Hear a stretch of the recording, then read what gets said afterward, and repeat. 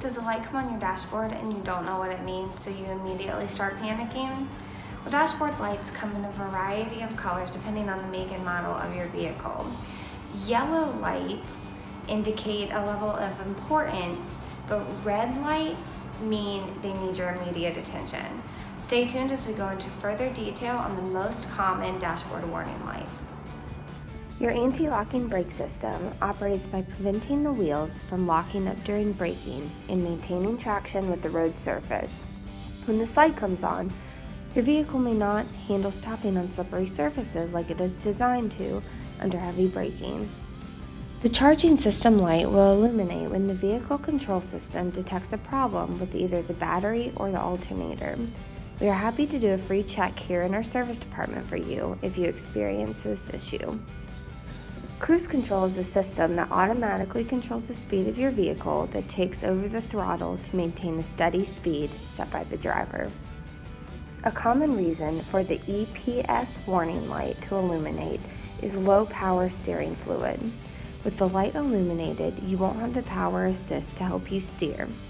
You will still be able to drive, but the steering wheel will be very difficult to turn, making it dangerous to operate. This one is very simple. It indicates that the headlights have been turned on. When you switch from low to high beams, you will see the high beam indicator turn on in the dash. When you switch back to low from your high beams, the light will go out. If you see this light come on, stop driving immediately and turn the engine off. The engine can be severely damaged if oil pressure is lost.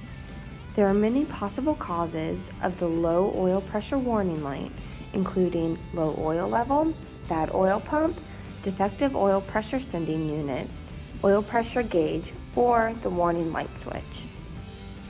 This indicates that the fuel level is low in your vehicle.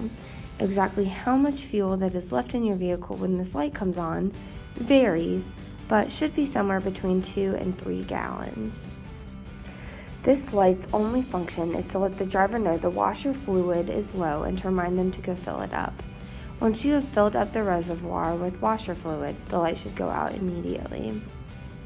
This light comes on to remind you to change your oil. It comes on 5,000 miles after the last time it was reset. This indicator light flashes after the key has been removed from the engine, indicating that the system is operating properly. After the key has been inserted into the engine switch, the system has been canceled and the indicator light will stop flashing.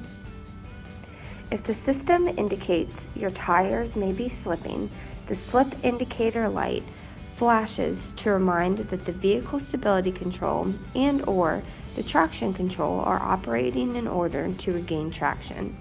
If the light stays on, it could indicate a malfunction with the TRAC or VSC system itself.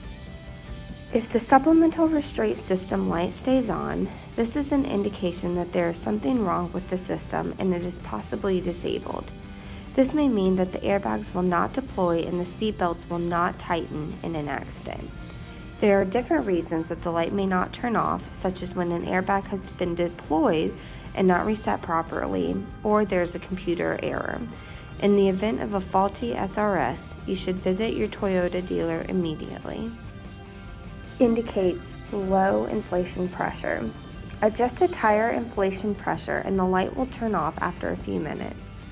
If the light does not turn off even after the tire inflation pressure is adjusted, have the system checked by your Toyota dealer. These are activated once the driver changes directions and uses the turn signal indicators. If both front wheels get stuck in fresh snow or mud, you may need to turn off both traction control and vehicle stability control so you can rock the vehicle to free it. To turn TRAC off, simply push and release the VSC off button. The TRAC off indicator light should come on the dashboard. Push the button again to turn TRAC back on. Push and hold the button for 3 seconds to turn off both TRAC and VSC. The TRAC off and VSC indicators will then appear.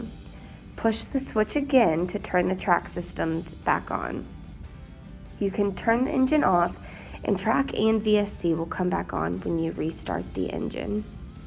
Now, if you're still hesitant and don't exactly know what a warning light means, we always recommend to check your owner's manual or visit your local Toyota dealership for more information.